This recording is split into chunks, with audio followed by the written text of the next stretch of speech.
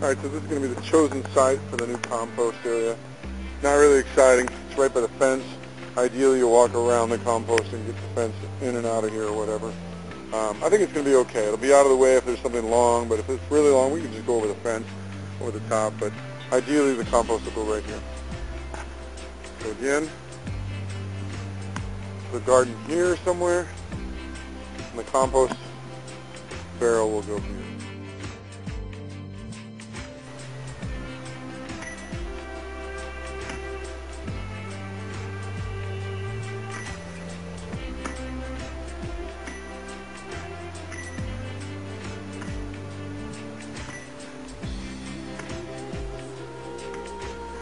Okay, this is the second day. Last night I dug the holes into the dark, and this morning I have mixed concrete and placed the 4x4s in the concrete, and then drilled the holes, which I didn't film any of this stuff, but that's alright. It doesn't matter. You get the idea.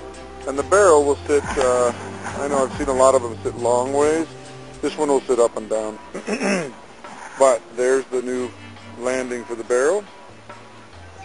That pole may be cut to length. I think it'd be really cool to put a some kind of strange steering wheel on there. And so I haven't cut the length yet. but um, and you may be able to hang tools or something. I don't know. So I, I don't want to. I don't feel like cutting it yet. This is the size I bought it in. But there you have it. it sits in the ground like that. Excuse me. And then uh, basically you rotate the barrel every so often, every couple days. I'm hoping for a 21 day Here's the barrel to be used. Um, these are the tools I had to mix the concrete in. This is a great concrete mixer, as well as a perfect bench to sit on, and so I'm going to put the holes into the barrel that the that will the pole will ride on. I'm going to do it about 18 and a half inches, and uh, we'll check it out after I'm done. Okay, there's the hole. I'm sure that's not really that impressive. But one has learned a valuable lesson when um, working on the back patio of a uh, new place to live. When you exit the dog poop and throw it on the patio and then rub it in the barrel, try not to also step in it because somebody didn't throw it off the patio. Um, that'd be me. But now the barrel has holes, and I think it's going to be just fine. It should rotate on this. I tried to put it center, which means it's going to be a little bit of a tug when this is full. I'm hoping to put a rubber grommet of some kind around the pole or some kind of seal, sealer so it doesn't just spin around and let the dirt fall out. But um, I don't see the harm in the dirt falling out because it's aerated anyway. But ideally, these holes are right on the seam, and I don't think that's such a good idea.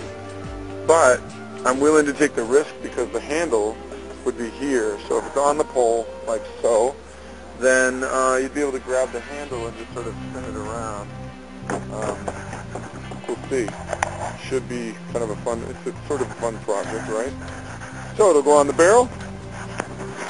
I mean, the barrel will go on the pole when the concrete is dry, and I will have a composting barrel, and I hope to figure out a way to make it happen fast within 21 days of um, putting it, starting it.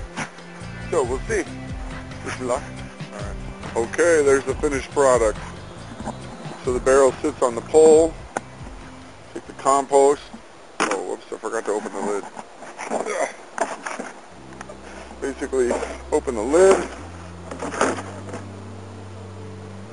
Be nice to have somewhere to maybe hang it or hook it or something like that. That'll be the next step probably. And dump the compost.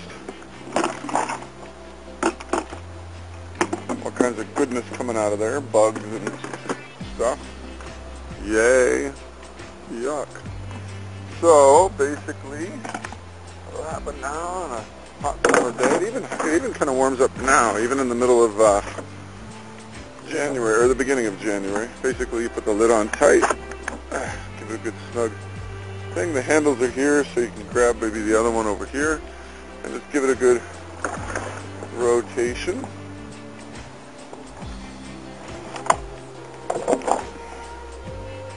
So it seems to be all right. It's not quite balanced or something. I'm not sure why.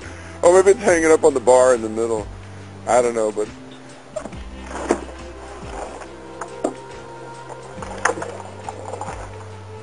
seems to work fine.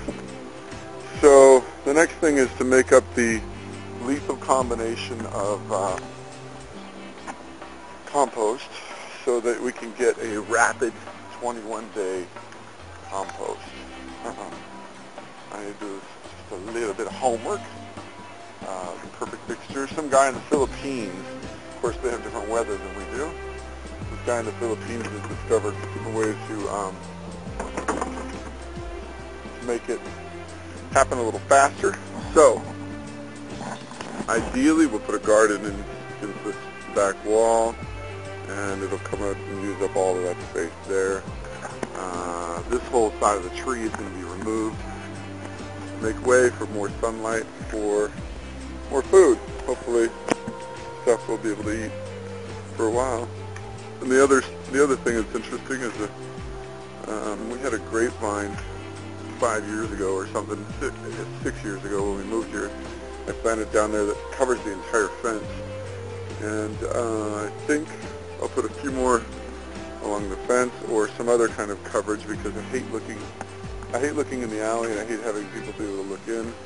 And I mean, people dump their garbage off and what are you going to do about it? So I would like very much to cover this all up with some kind of thing that grows along here. And I hope to use the runoff from this rain gutter and catch it here in this barrel and have a permanent line that just will be a constant drip feed that'll feed the grapes or whatever we decide to put on there. And um, so, and even if it gets empty, I can just fill it with a hose and it'll be something I don't have to worry about until it's gravity fed until it's done. So it's an idea. That's all for now. Like the compost barrel? Woohoo! I love it. I think it's going to work. We're going to saw off those handles on that bar and maybe put in a, a steering wheel so it's easier to rotate.